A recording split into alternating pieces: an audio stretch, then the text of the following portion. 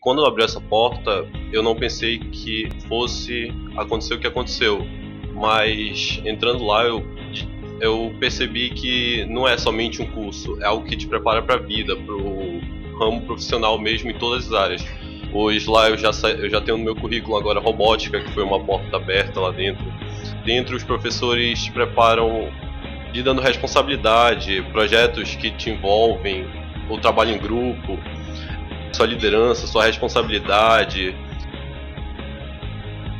Eu termino o curso daqui a um mês, é, dia 4 de outubro eu estou saindo do curso e já estou com carteira assinada numa empresa.